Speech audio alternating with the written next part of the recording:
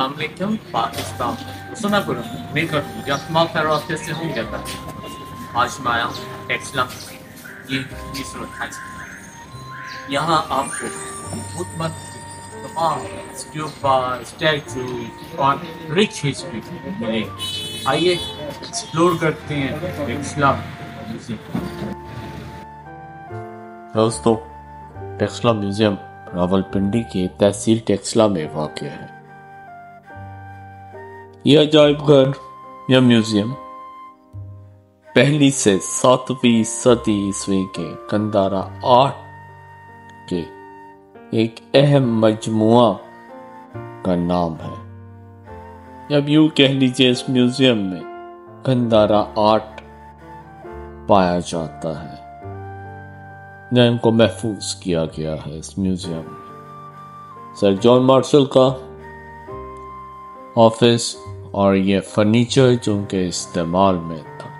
ایک آرکیولوجسٹ تھے یہ۔ بہت شاندار آرکیولوجسٹ تھے۔ انہوں نے منجر داروں پہ بھی کافی تفصیلی کام کیا۔ آئیے واپس اس میوزیم کی جانب۔ اس میوزیم کی تعمیر انیس سو اٹھارہ میں شروع ہوئی۔ آپ کو بتاتا چلوں، یہ سات زمین اور سات آسمانوں کو ریفلیکٹ کرتا ہے۔ یہ اسٹرکچر اس پہ آپ دیکھ سکتے ہیں بدھا کے ڈیفرنٹ موڈز ہیں۔ پریچنگ موڈ میں میڈیٹیشن میں سٹرا سٹرا یہاں پہ آپ کو کافی ڈفرینٹ ٹائپ کے اسٹیوپاز یا بدھا کا ریلیکس دیگر نوادرات یا آرٹیفیکٹس کہہ لیجیے ملیں گے۔ اس میوزیم کی تعمیر انیس سو اٹھارہ میں شروع ہوئی۔ اس کا سنگ بنیاد، Lord Chelmsford viceroy of India نے انیس سو اٹھارہ میں رکھا تعمیر انیس سو اٹھائیس میں مکمل ہوئی۔ یہاں پہ رکتے ہیں۔ دوستو، یہ ریلکس ہے بدھا کا جس میں دانت رکھا گیا ہے ٹوئنٹی ملین ڈالر کی اس کے انشورنس ہے۔ ہوائی اڈا میوزیم کی جانب، کیونکہ انسٹیوپاس کے بارے میں میں نے اپنی پچھلی ویڈیوز میں کافی بات کی ہے۔ تو آج میں بات کروں گا صرف ٹیکسلا کی۔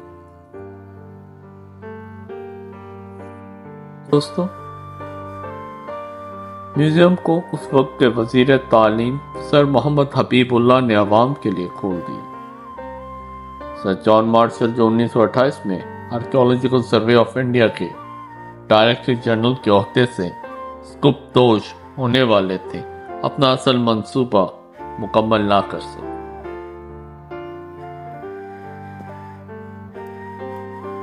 یہاں تقریباً چار ہزار اشیاء رکھی گئی ہیں، جن میں جیسے میں پہلے بتا چکا ہوں، مختلف پتھر،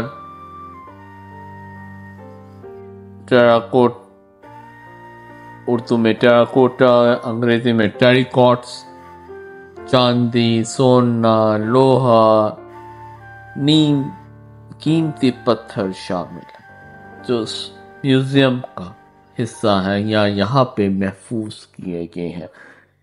یا جن کو یہاں پہ پریزرو کیا گیا ہے، یا آپ یوں کہہ لیجیے جن کو یہاں پہ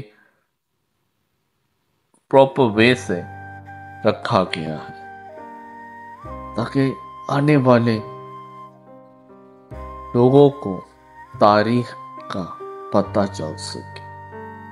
یہ پتہ چل سکے اس زمانے کے لوگ کتنے ذہین تھے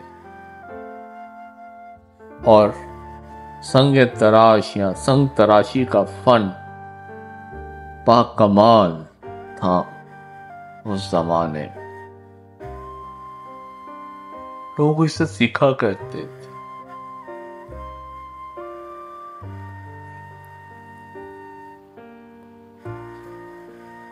دوستو آپ دیکھ سکتے ہیں بدھا کے ڈفرینٹ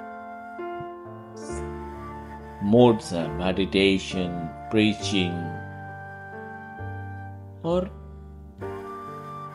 بہت یونیک ہے یہ فن تھوڑی سی ٹیکسلا پہ بات کرنا چاہوں گا۔ ان سٹوپاز اسکلپچر بدھا کے ڈفرنٹ موڈس پہ میں نے کافی بات کی اپنے پچھلے سٹوریز کے اندر۔ یا اپنی پچھلی سٹوریز کے اندر ویو کہہ لیجیے، جو آپ دیکھ سکتے ہیں میرے چینل پہ۔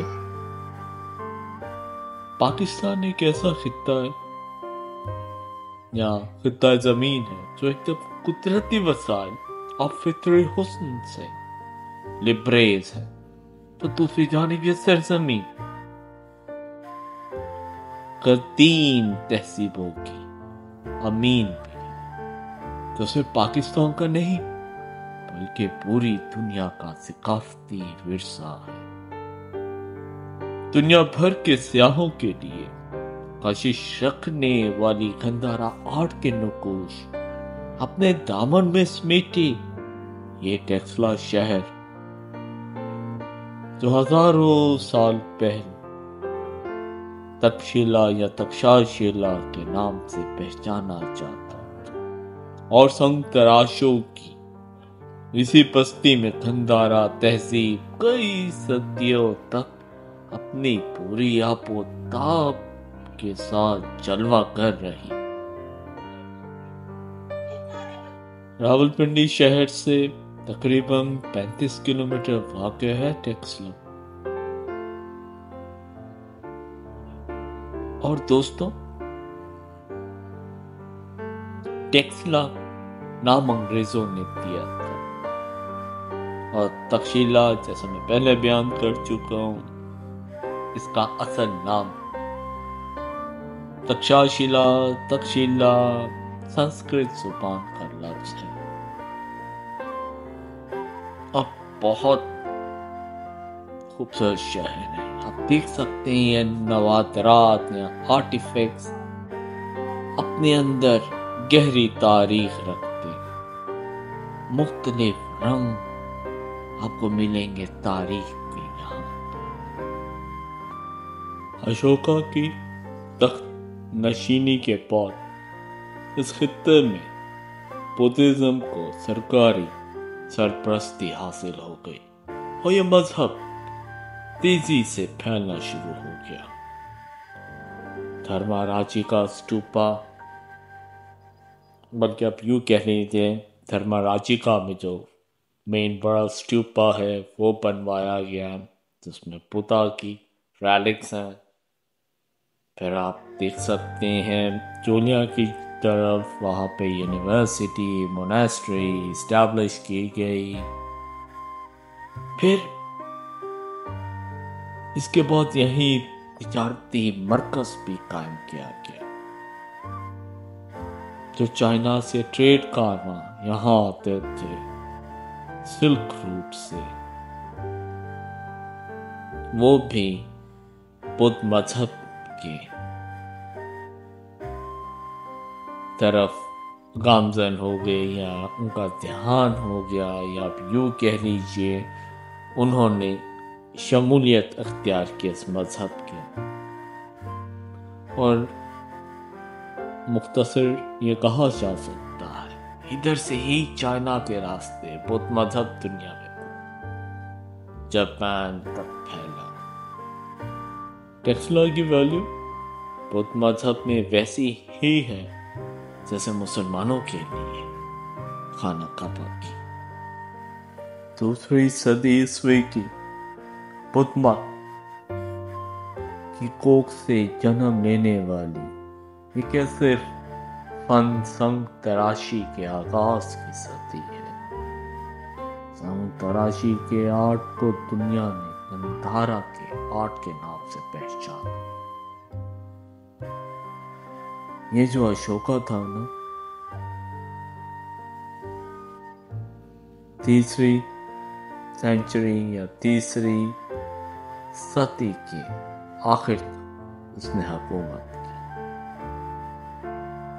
اور اس کی موت کے بعد دوسری صدی عیسوی کے دوران وہ جو گریکس نکالے گئے تھے یہاں پہ الیگزینڈر کے جو لوگ انہوں نے یہاں پہ حملہ حملہ کیا تھا۔ یا کہہ لیجیے حملہ ور ہوا تھا الیگزینڈر۔ جب وہ یہاں سے رخصت ہوا، یہاں پہ اس کے کچھ لوگ رہ گئے۔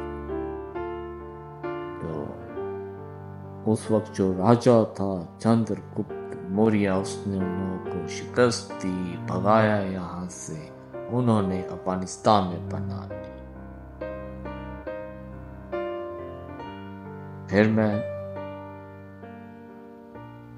آپ ایک بڑی دلچسپ بات بتانا چاہوں گا۔ وہ واپس آ گئے تھے۔ اور جو دوسری ویوز تھی انگریز نے جب دیکھا یعنی کہ انگریز کی جو دوسری ویو تھی، انہوں نے یہاں دیکھا کہ بدھ مذہب تیزی سے پھیل چکا۔ اور ان کی خانقاہیں بھی تعمیر ہو چکی۔ تو انہوں نے بھی بدھ مت مذہب میں شمولیت اختیار کی۔ اور انہوں نے بھی اپنا کردار ادا کیا۔ جس میں گندھارا آرٹ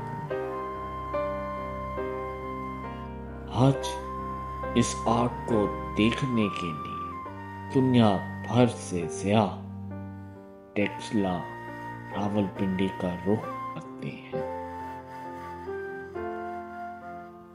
دوستوں اس شہر کے لوگ آج بھی اس آرٹ یا اس فن میں باکمال ہے بڑی ہی مہارت سے بڑے خوبصورت ڈیزائن بناتے ہیں۔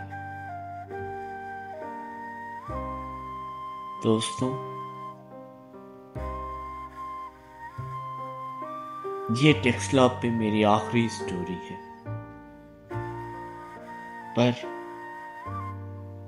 یہاں پر آ کر جو محسوس ہوا ہے، چیزوں کو دیکھنے کے بعد کہ سنگ تراشی کا فن ان میں پاک کمال تھا ہر چیز منفرد رنگ رکھتی ہے، یہاں اپنے اندر ایک گہری تاریخ رکھتی ہے۔ سے ملنے والا، پانی پینے والے گلاس میں بھی ایک تاریخ کہ کس طریقے سے اس کو بنایا گیا۔ آپ کو گندھارا کے بہت سے نقوش یا باقیات کے پکے میں مل جائیں گی۔ دوستو ٹیکسلا کی یا آخری سٹوری اس کا اختتام ہوتا ہے۔ اور ہمارا سفر یہاں ہی اختتام پذیر ہوتا ہے۔ دعاؤں میں یاد رکھے گا اور جانے سے پہلے بات کروں کہ پاکستان ایک نایاب ملک بہت نایاب ہے۔ دنیا بھر کے سیاح یہاں پہ آتے ہیں۔ ہمیں چاہیے ہم ان کے لیے مثال بنے تاکہ جب وہ اپنے وطن واپس جائے، وہ ہماری مہمان نوازی اور ہمارے ملک کی خوبصورتی ان کے دلوں میں گھر کر جائے کیونکہ جب وہ واپس جائیں گے، اور لوگوں کو بتائیں گے، ہمارے ملک میں سیاحت بڑھے گی۔ سیاحت کو فروغ دیجیے مجھے دعا میں یاد رکھیے گا۔ السلام علیکم ورحمۃ اللہ۔ اللہ حافظ، پاکستان زندہ